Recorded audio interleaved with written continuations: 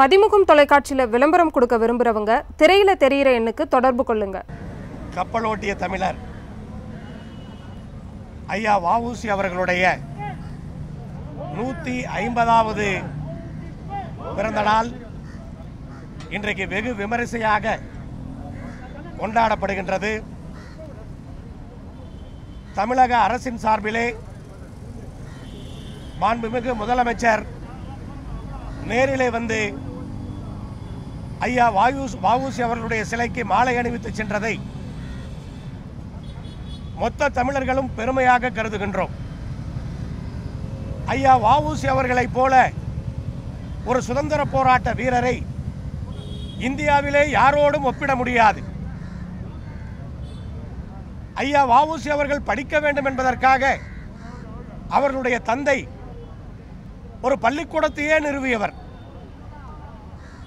அப்படிப்பட்ட ஒரு செல்வந்தரான அந்த குடும்பத்திலே பிறந்தவர் ஆங்கிலேயரை எதிர்த்து இவரைப் போல திட்டங்களை தீட்டியவர்கள் இல்லை என்றுதான் சொல்ல வேண்டும்.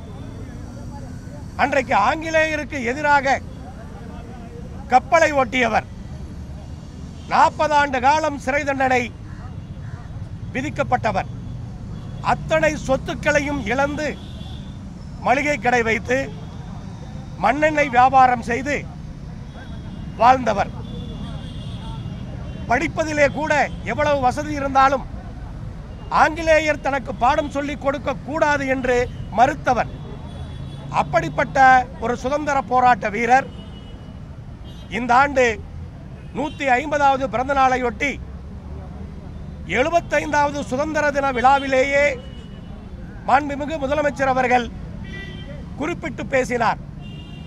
மிகச் சிறப்பாக நாங்கள் கொண்டாடுவோம் என்று சட்டமன்றத்திலே நான் வைத்த கோரிக்கைக்கு முதலமைச்சர் அவர்கள் பதிலளிக்கும் பொழுது மகத்தான பதினாலு அறிவிப்புகளை அறிவித்தார்.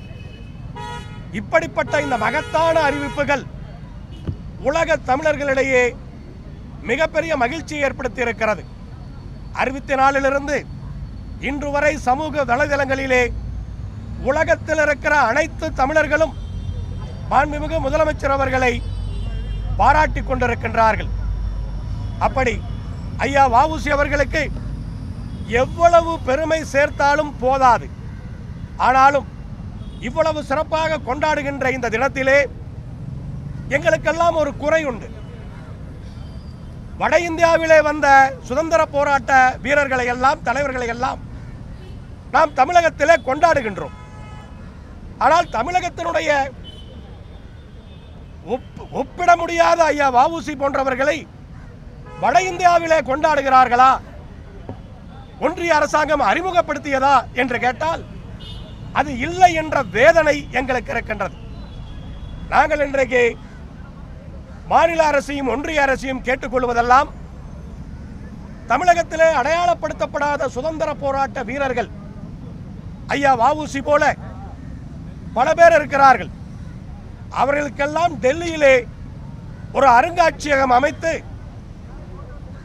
தென் மாநிலங்களுடைய தென்னிந்தியாவினுடைய சுதந்திர போராட்டத்திலே கலந்து கொண்ட தலைவர்கள் வீரர்கள் என்று அவர்களுடைய காலத்தை குறிப்பிட்டு அங்கே ஒரு அருங்காட்சியகம் அமைத்தால் வட இந்தியாவில் இருப்பவர்கள் டெல்லிக்கு வருகிறவர்கள் எல்லாம் நம்மை பெற்று தெரிந்து கொள்வதற்கு வாய்ப்பாக இருக்கும்.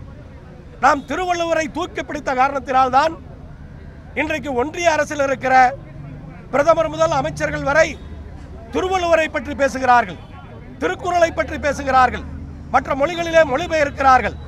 ஆனால் இதுவெல்லாம் திருவள்ளுவரை தூக்கி பிடித்து தென்கோடியிலே சிலை அமைத்து அந்த புகழை நிலைநாட்டியவர்கள் தமிழர்கள். ஐயா கலைஞர் அவர்கள் என்பதை யாரும் மறுத்துவிட முடியாது. அப்படி சுதந்திர போராட்ட வீரர்களை ஐயா வாவூசி அவர்களை பொறுத்தவரை நாம் தான் இந்திய அளவிலே கொண்டு போய் சேர்க்க வேண்டும். ஜாதி மதங்களுக்கு அப்பாற்பட்டு இந்திய சுதந்திரத்திலே அவர் வாழ்ந்த சமகாலத்திலே இந்திய சுதந்திரத்திற்காக அவர் இழந்த இழப்புகள் கணக்கிட முடியாது. அப்படிப்பட்ட இழப்புகளை சந்தித்து சுதந்திர போராட்டத்திலே தன்னுடைய பங்கை அவர் செலுத்தி இருக்கின்றார் அப்படிப்பட்டவரை இந்த நாளிலே நாங்கள் உறுதி எடுத்துக் கொள்ளுகிறோம். இந்தியா முழுவதும் கப்பலோட்டிய தமிழர் ஐயா வாவுசி அவர்களுடைய புகழை கொண்டு போய் சேர்ப்போம் என்ற அந்த உறுதியை எடுத்துக் கொள்ளுகிறோம்.